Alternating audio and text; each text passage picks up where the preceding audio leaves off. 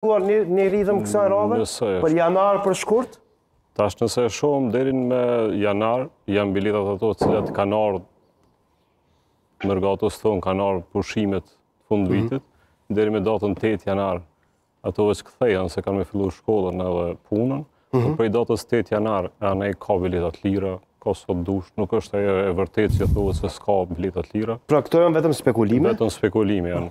Vetëm spekulime që janë, që janë rezervuar. Pra është një, ritmi i njëjtë gjatë viteve edhe të kaluarit edhe të tanishëm. Do me thonë s'paska me u zbrazë. Nuk ka dyshim. Po jo, kjo që ka një element, kjo që ka një element që ka bën që s'paska me u zbrazë. Po vetëm prit pak se Nuk është vetëm avioni këtu në pyetje, sepse po. shumëkush thotë, edhe pse avionet tani janë këto low cost edhe dorën në zemër kushtet janë shumë të volitshme te Prishtina Ticket që po. t'ua bëjmë me dije qytetarëve, por kushtet janë të volitshme edhe te Sharr Travelit nëpërmjet nëpërmjet autobusit dhe dikush po thotë Po shoh në në rrjetin social që po komentojnë, nuk do udhëtojnë nëpërmjet avionit, por do shkojnë me autobus.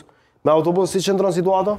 Shiqoni ne si Sharr Travel kemi marrë, përgatit me kohë, e jemi kompani jashtëzakonisht serioze, dhe kemi hecë me një hap para para kompanive tjere në cilësinë e shërbimeve, gjithmonë duke u bazuar në praktikat më të mira që kemi bartë nga vendet e Bashkimit Evropian, duke pasur parasysh që familja ime jeton në Zvicër dhe sigurisht që kemi një staf jashtëzakonisht të mrekullueshëm, profesional dhe po mundohen të kryejnë shërbimet më të mira, për me thonë shkurt edhe shqip, për shkak të udhëtimeve që tashmë qytetarët e Kosovës në drejtim të Zvicrës kanë pas me Sharr Travel dhe po e zëvendësojnë aeroplanin dhe po vijnë me Sharr Travel dhe kjo është një e mirë.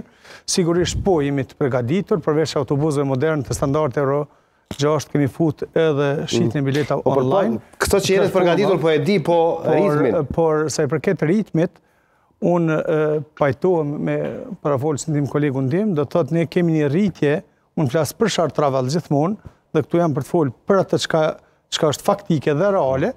Dhe numri i udhëtarëve që kanë ardhur këtë vit nga Zvicra për Kosovë është në rritje.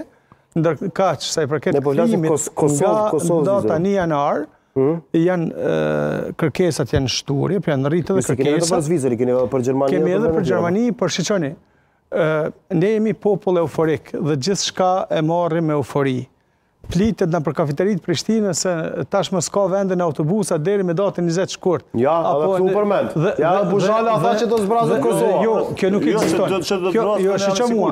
Plot kompanitë të Kosovës tashmë u kanë pajisë. Zoti Buzhala, ja ku i kemi këto ritme të. Unë po flas mbi bazën e argumentit. Faktet që po. Në Sharr Travel Ke për çdo ditë vende të lira, ndash Zvicër, ndash Gjermani, ndash Itali me autobus. Nëse Buzhala s'ja ka mësy vetë me dalë, po u përmend, këtu nuk u përmend elementi i tretë i transportit, transporti privat.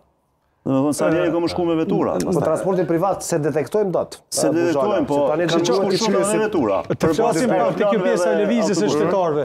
Për neve është shumë e mirë. Tha, më herët, Kushtrimi, çka do të sjellin këta qytetarë që do të vizitojnë.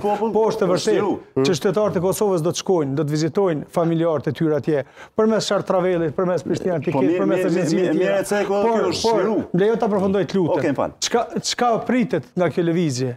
Çka është e dobishme ky liberalizim i vizave për qytetarët e Kosovës?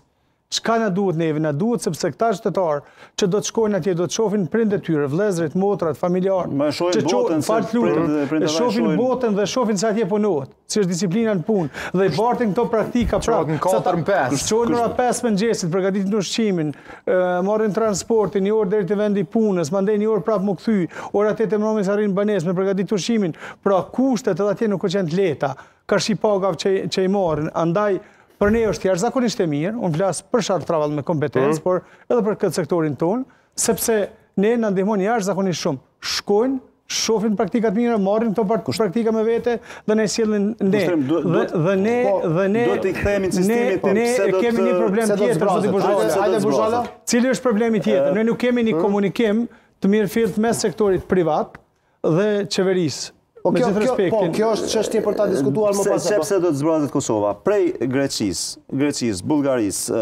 Serbisë, Bosnës, Kroacisë, Malit Zi, Maqedonisë, edhe gjitha vendet e rajonit i kanë dikun 80 deri 90 banorë për kilometër katror popullatë. Mhm. duke përfshi domethënë edhe Shqipërinë që është diku 90-95. Kosova e ka 160 banorë për kilometër katror aktualisht. Domethënë është dyfishi i vendeve të rajonit. është ekonomia ma e varfën e rajonit. Domethënë, ne aktualisht jemi diku 20% më pak të zhvillum se Maqedonia, diku 25% më pak zhvillum se Shqipëria, që është vendi i dytë, domethënë, që na, që na ikë, edhe tjerat na ikin shumë ma shumë. Pra, po flasim për mirë